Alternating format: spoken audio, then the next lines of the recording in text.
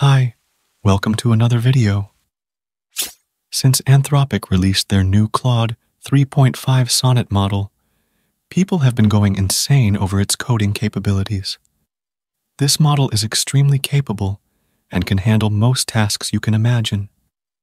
I've already made two videos about it and even created a co-pilot using it, which was pretty incredible. But today, I'll be showing you how to create full applications with it using just one text prompt. Yes, you can simply write the application you want to generate, and it can build it in seconds. Whether it's a desktop application, web application, game, or anything else you can think of. This is all achieved using agents via a repository called Maestro.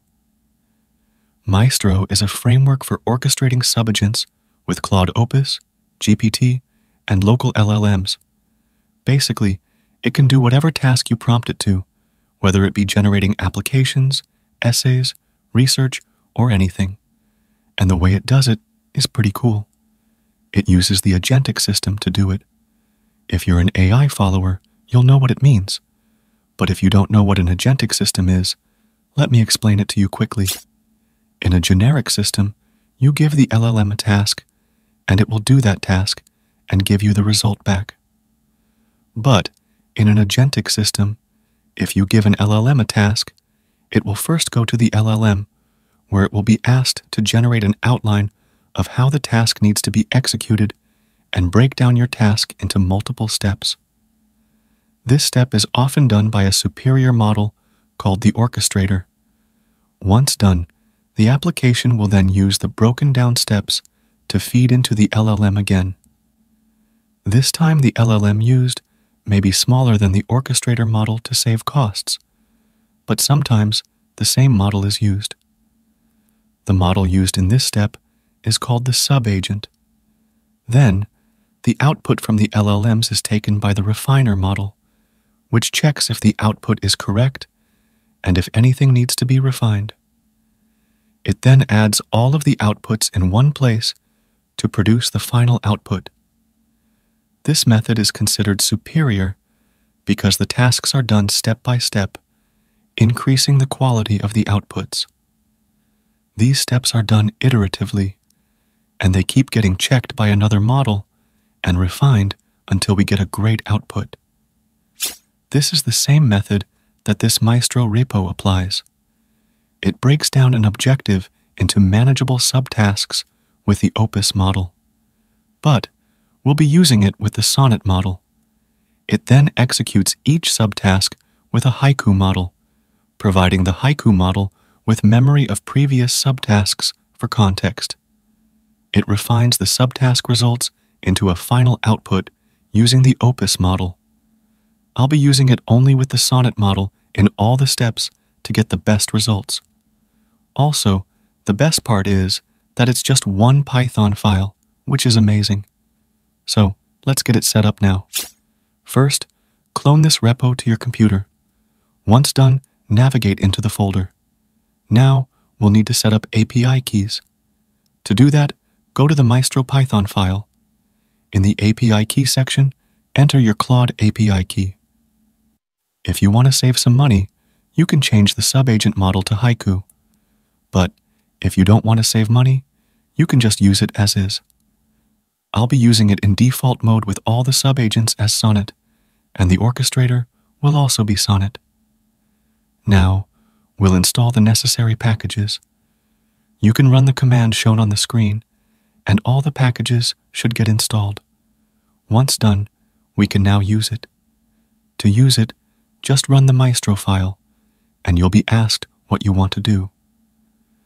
Let's ask it to create a web snake game in HTML and JavaScript.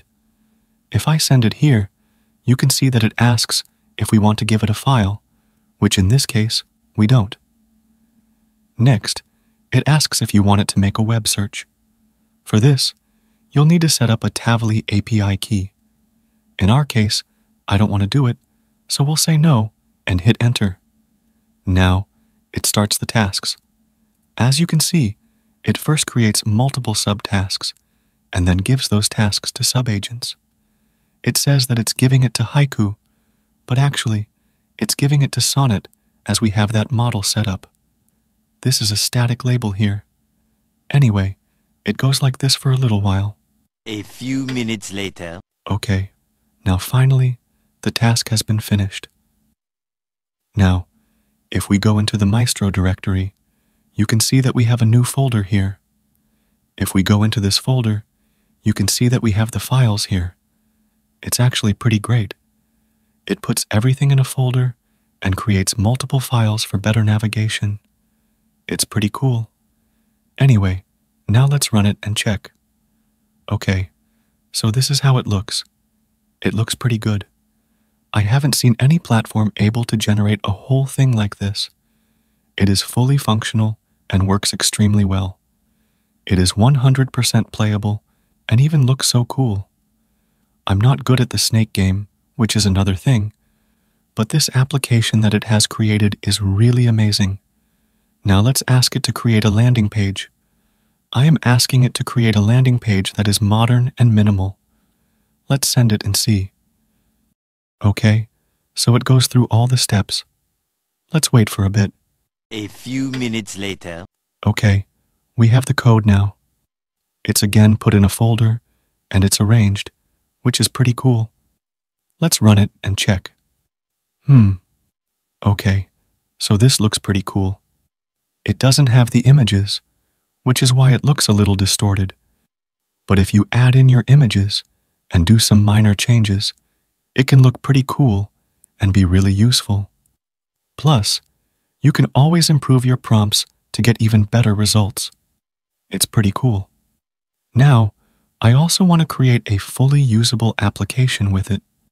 So, let's ask it to make a to-do list application that stores data in the browser itself. Let's see if it can do that.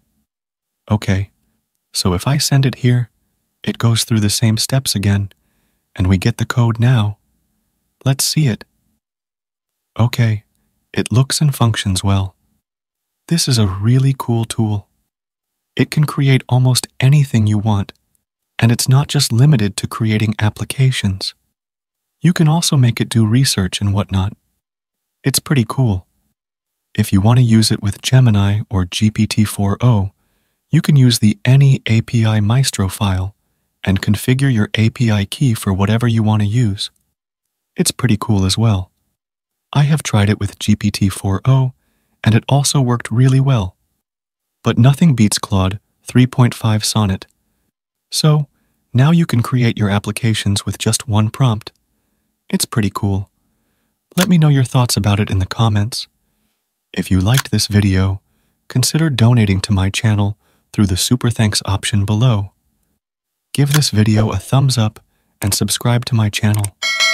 I'll see you in the next video. Till then, bye.